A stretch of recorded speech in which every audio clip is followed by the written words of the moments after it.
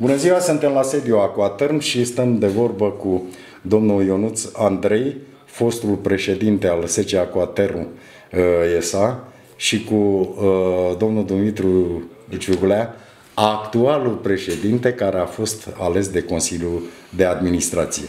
Practic, domnul Ionuț Andrei a condus uh, societatea care se uh, află sub tutela Consiliului Local Curtea Dargeș din uh, februarie 2019 până la sfârșitul lunii iunie anul 2021, deci anul curent.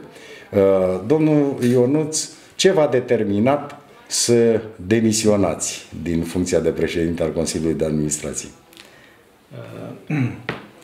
Eu mi-am dorit să nu fac pasul ăsta după ce am intrat în Consiliul Local. Știți bine că uh, v-am informat și pe dumneavoastră și membrii Consiliului Local. Am făcut uh, adrese la ANI să văd dacă pot rămâne în Consiliul de Administrație la Coaterm. Mi s-a răspuns că pot să rămân, dar fără să fiu remunerat, lucru care s-a și întâmplat.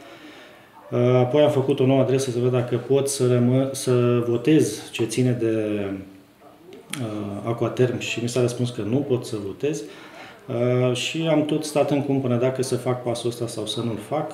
Am vrut să duc la bun sfârșit uh, proiectele începute uh, alături de echipa din Consiliul de Administrație. Am reușit să ducem o bună parte din ele la bun sfârșit, dar pentru că tot timpul stăteam să analizez, intru într-un conflict de interese, să Există riscul să uh, fie o incompatibilitate prin votul pe care îl acord un Consiliu Local. Am luat decizia să fac pasul ăsta, să demisionez, astfel încât altcineva să ducă mai departe proiectele la Aquaterm.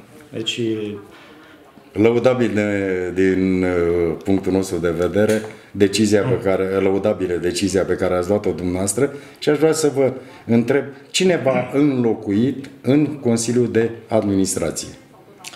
Păi, uh, în mod direct, uh, nu m-am înlocuit cineva. Consiliul nu, ca fost, membru. Consiliul a fost completat, completat. provizoriu cu domnul Bogdan Sucaciu despre care știu că este jurist de meserie și lucrează la o societate privată. privată.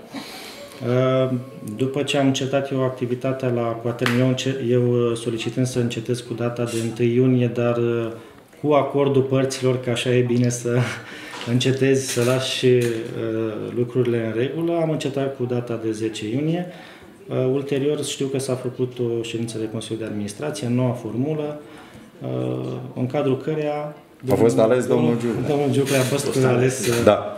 Domnul Giuglea, uh, ați primit cu inima deschisă propunerea colegilor de a prelua președinția Consiliului de Administrație la SCA Coatern sau ați avut ceva îndoieli? Țin cont de experiența și de vârstă, n-am avut îndoieli. Sunt uh, specialist în alimentare cu apă și canalizare uh, și așa că Uh, Ați făcut parte și din uh, echipa care a avut niște realizări? Echipă și deci uh, consider că, că voi încerca să duc la bun sfârșit mandatul de încă 2 ani și jumătate cât mai am. Deci de 2 ani și jumătate, de ce numai atât? E mandatul de 4 ani, nu vedem la alegeri, dar ce e mult câteodată strică. Ah. Deci vorbim peste 2 ani și jumătate vorbim dacă mergeți mai, mai departe. Exact, să vedem și situația. Sperăm, în orice caz, dacă, chiar dacă părăsesc uh, președinția, vreau să las uh, întreprinderea într-o situație economică bună, cu Cea mai mare provocare, că revin și mă scuzați că vă întreb, cea mai mare provocare pentru dumneavoastră când v-ați instalat ca și Consiliul de Administrație a fost acela de a echilibra societatea, a aduce-o pe linia de plutire și ați reușit cu brio pentru că ați adus-o și pe chiar, profit. Chiar am îmbunătățit activitatea.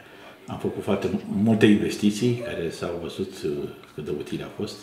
Am re- uh, reușit să ținem prețul la apă. Ah, și continuă, uh, cred că mai va trece o perioadă când prețul va fi menținut, să nu crească prea mult prețul la energie și la celelalte utilități ca să putem să facem față cheltuielilor să dea Dumnezeu să se întâmple așa. Și noi dorim.